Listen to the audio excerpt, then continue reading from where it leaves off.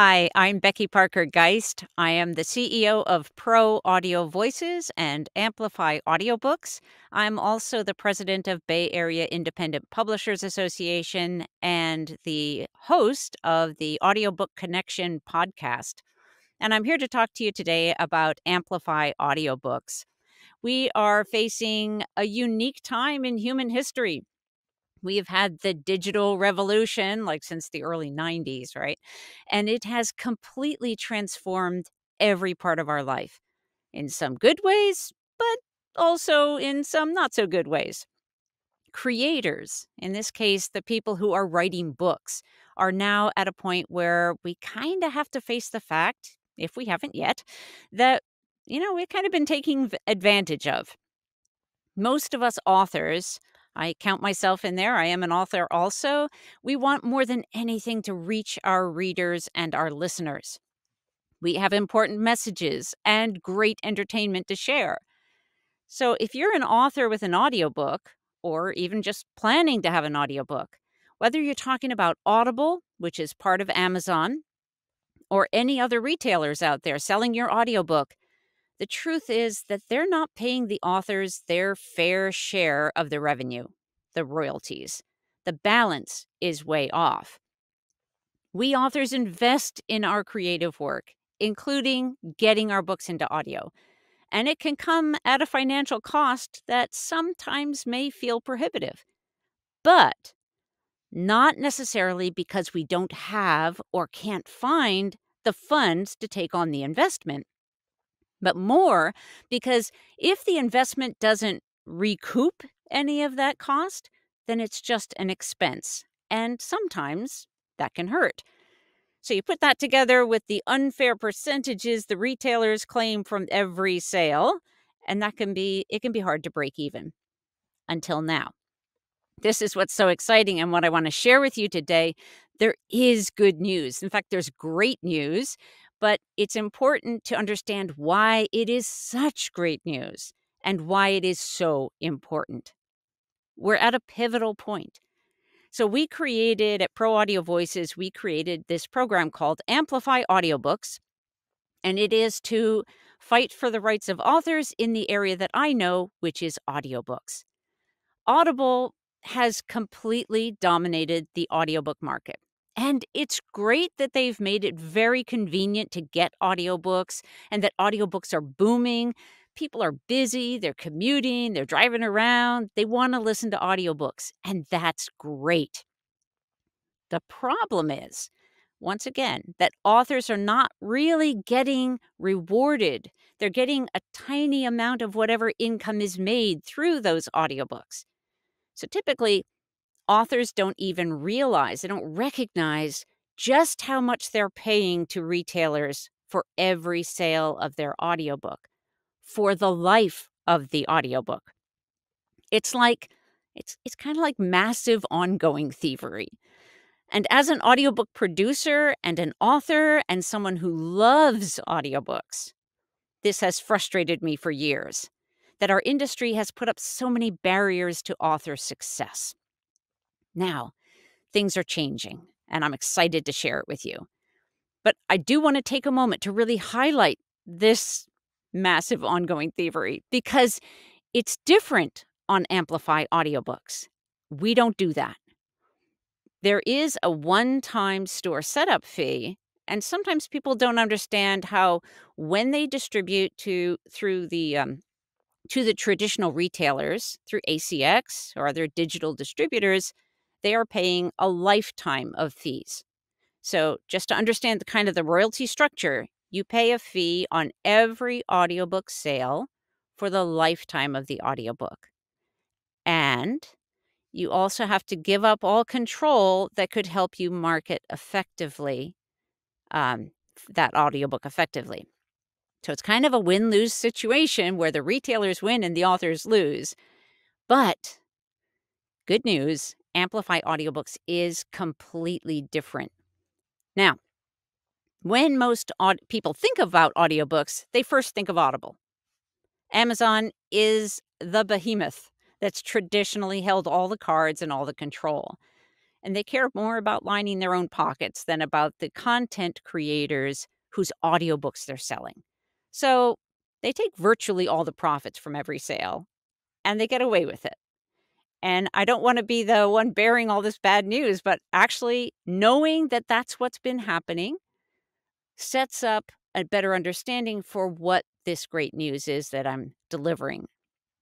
While there are many other audiobook retailers and competition to Audible is helpful, yes, but it's not a solution because they're all using the same model and playing the game the same way. But at Amplify Audiobooks, we're working in support of content creators. So we've kind of turned the whole formula on its head. It's a little bit like you might describe it as like the Etsy of audiobooks, where authors can sell your own audiobooks direct from your own online store. And then it comes with a built in suite of marketing tools. So you get to earn way more for every sale, and you get to stay in the driver's seat for your audiobook. You get to set your own price, and you can't do that anywhere else. And you can schedule promotional sales. Can't do that anywhere else. You can create whatever discount codes you want or need. Can't do that anywhere else. And you know who your own customers are. So you can connect with them, you can build community. And you know, that information is so valuable. And the retailers know it. So you're not going to get that anywhere else, but you get it on Amplify Audiobooks. For listeners, using the Amplify Audiobooks app, it's just like the one for Audible. So the user experience is what they're used to. So now you can not only set your own price, but you get to earn 65% of the gross sales price that you set. Let me explain that a little bit. So there's kind of a sneaky way that that uh, digital distributors in the audiobook world present information that's that's a little deceptive because they say they're going to pay you this high percentage, but they don't say up front what it's a percentage of. That it's actually a percentage of the net not the gross price. What that means is that they're not paying a percentage of what a customer pays when they buy it, which is what you'd expect, but rather that they're going to be paying a percentage of what's left over after they take out what they consider their expenses and their profit, which is typically at least 50%. So then you're getting a percentage of that percentage of whatever might be left over. So that is where we get tricked in the language that we typically will see out there. And I want to just make it clear for you because it's important for you to understand that. And Amplify Audiobooks is different, it's a game changer. So, what you get is not only fair treatment, not only higher revenues from each sale, you also get tools and support to actually make money with your audiobook and to build your audience with your audiobook. So you can make more books and more audiobooks and make a living at it, not just, you know, spend your life savings and hope it all pans out in the end, right? That's what we want. And one of the interesting things is that though those authors that hire PR firms and marketing teams and have a marketing budget, which is great, they'll get even more benefit because when you're directing your traffic to your Amplify audiobooks page, now you're going to actually be able to have the benefit of knowing who bought your audiobook. You're going to earn a lot more. You're going to be able to reconnect with your audience. So you can actually earn your marketing budget back, which is the way it should be, and get a return on your investment and move into profitability. So, but if you can't afford your own marketing team, that's okay too, because the marketing tools in Amplify audiobooks, they're easy to use.